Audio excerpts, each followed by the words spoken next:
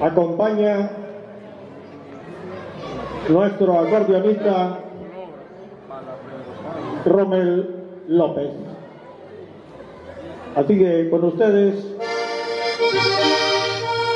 el tirajero.